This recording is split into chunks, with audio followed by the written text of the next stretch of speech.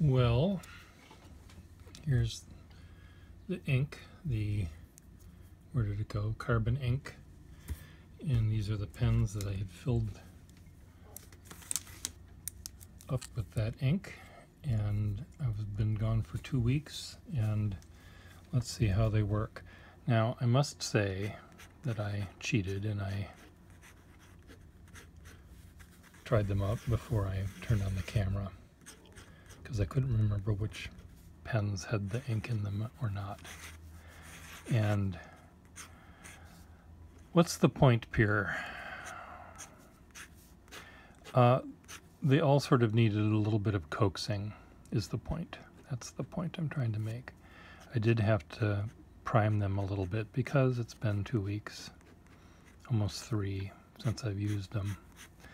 And even a pen that has regular ink might need a little bit of coaxing.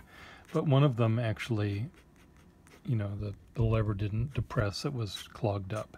So you there is going to be a little bit of trauma that you're going to have to be dealing with, probably. And as you can see, if you just watch the beginning of this little bug, that I did have to, it didn't start right away. I think they do, it's thicker ink than what I normally deal with. So you do end up getting some skipping happening. But if you are a deliberate artist and write or draw slower than I do, I don't think you'd have a problem with them but I would probably put them in pens that are not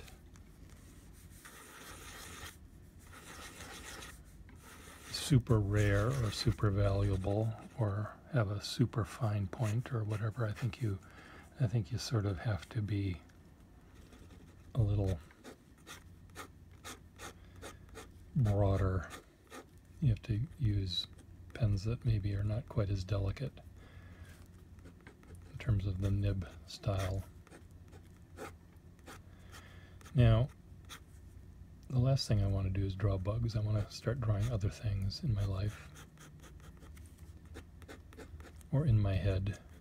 Now, just to be clear, these bugs are not in my head. They're in my imagination. The bugs that are in my head are completely different kind of bugs.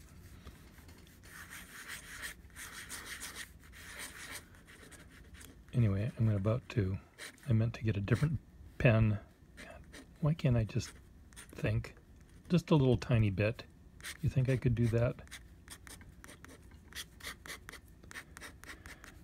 When I'm done with these little doodlements, I'll add ink wash and we'll see how these bleed.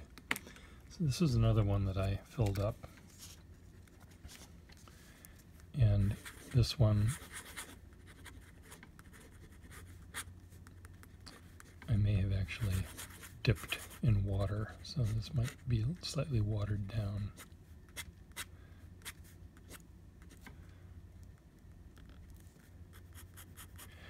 I think that for those of you that do the ink wash on top of the watercolor wash on top of ink drawings, though, most of you, I think, tend to be more careful about drawing than I am.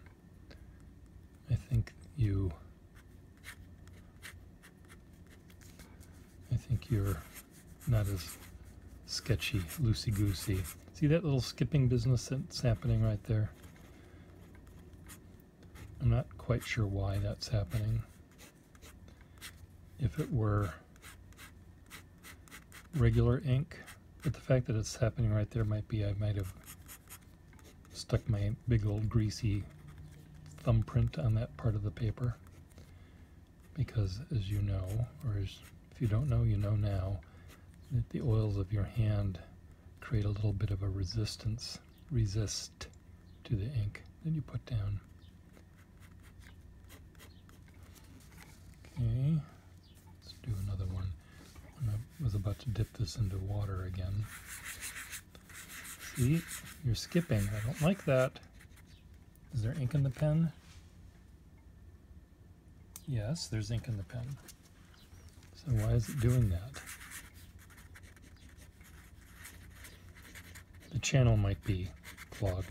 Again, it's, you know, this, this ink, I guess if I were to use this ink a lot, I would probably have one pen, one pen only, maybe two, dedicated to the use of this ink. And then when I was done with my drawing, I would probably empty it out as best I can of the ink, put it back in its bottle, and then I would, when I wanted to do another drawing with that ink, I would then fill it up. Because there is ink in this in this pen. See? I'll prove it to you. See, there's a big old blob right there. So the, the channel, the feed channel is clogged. Now, it's not just the feed channel, but it might also be the back of the nib, the tine, you know, in between the nibs, it's probably clogged. And, you know, to, to take the pen apart and to clean all those elements off and then to put it back together again. Each time you do that, you're risking some sort of damage, and I don't want you to do that because every once in a while you might end up breaking the pen, and I don't like that to happen. I don't like to do it on pens of my own, and I don't want it to happen to your pens, dear viewer, because I care about you. Well, actually, I don't care about you. I care about your pens. No, that's not nice, Pier. Course I care about them. Of course I care about each one of you. But this ink and these pens, I'll take this pen apart when I'm done with this bug. The antennas of this bug look like TV antennas that used to have on the, your house. Of course, you of the Wi-Fi generation, the cable TV generation, don't have those things. So you don't know what I'm talking about. No, you might know what I'm talking about. Okay, before we'll let this dry because I'm going to put ink wash on top of this and just see how these things bleed. But while let's just no, for God's sake, Let's just take this pen apart. Find out why it's doing this.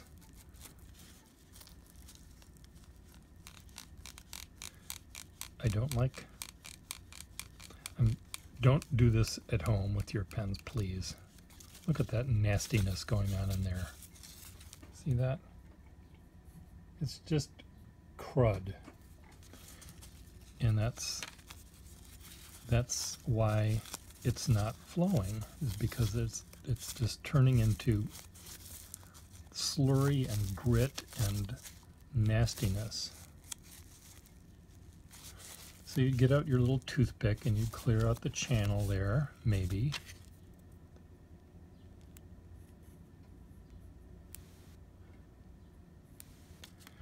And you'd take this and you'd wipe off all the crud on the back of this. Why does this nib have a hole in the back? A sign of a plated nib often is this little hole in the back. But this nib is not plated, so I don't know why that little hole is in the back. So that's relatively clean. Is this yeah, 14 karat says it right there. So now let's put this back together.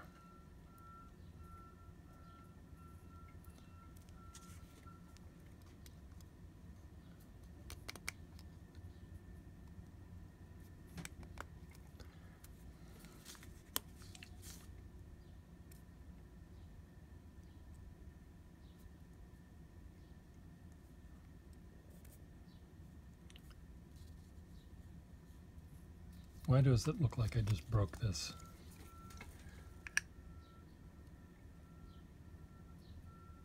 I didn't.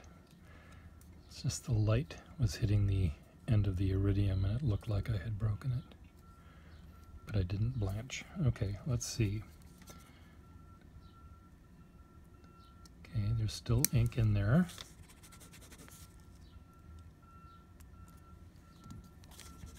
Now, perhaps if you were to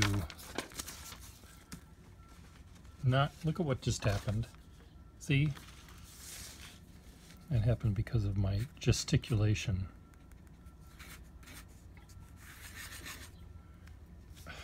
Look, you can't take me anywhere. Where did that come from?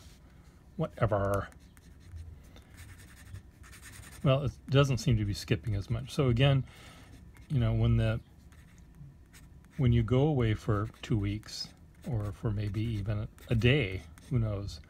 No, not a day, but when you go away for a while, the ink that was in the channel is going to dry up and turn to that crud and clog the pen. So when you're done using this ink in these pens, empty them out and try to, if you can, without taking the pen apart, ascertain somehow through x-ray vision or something that all of the ink is out of the channel. Um, and then that way you can at least go away on vacation without worrying about your pens clogging up while you're away. But you know, it's it is a problem. I think you will you'll find this ink un, un, make you unhappy if every time you use it you have to unclog your pen. Okay, let's see if these are still, if the pen is still, the ink is still waterproof. So here's my dirty water. So this, the ink is already gray. The ink, the it's sort of a bluish gray color. Now let's see what happens here. Any bleeding? The bleeding seems un...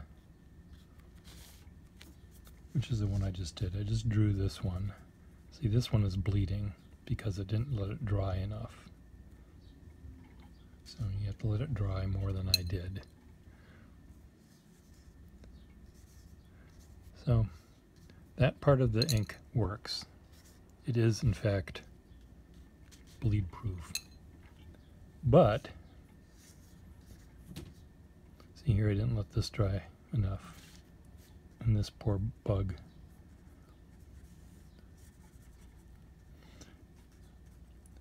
So what's the takeaway? What do you take away from this?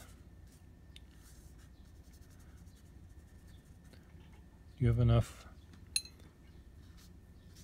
wherewithal to deal with the bleeding ink or the clogging ink or not.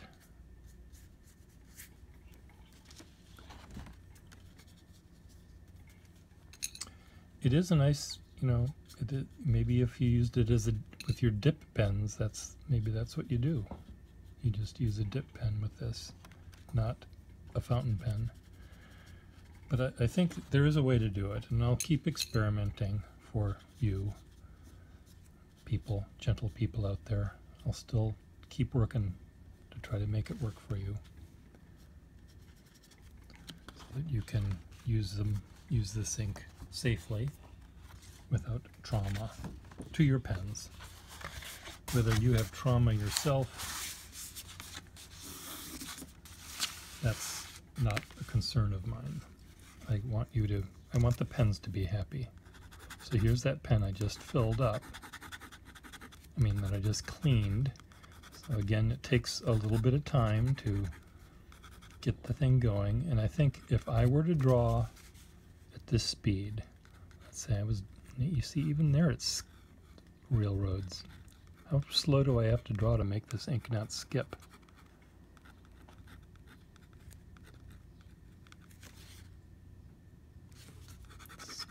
Supposed to be doing that. Well, I'll keep experimenting, you guys. I I don't want to leave you hanging. You know, each pen is going to be a little bit different. You know, this is a this was sort of a Franken pen I put together, where this is you know all Sheaffer and all correct, and everything is is meant to be together here. So maybe the the um, you know the fact that this pen is more correct than this one, maybe that could be the problem with this one. This one seems to be fine. But I bet, you see, it's still, when I go like this, it's fine. But when I go like that, maybe it'll skip a little bit. I draw fast.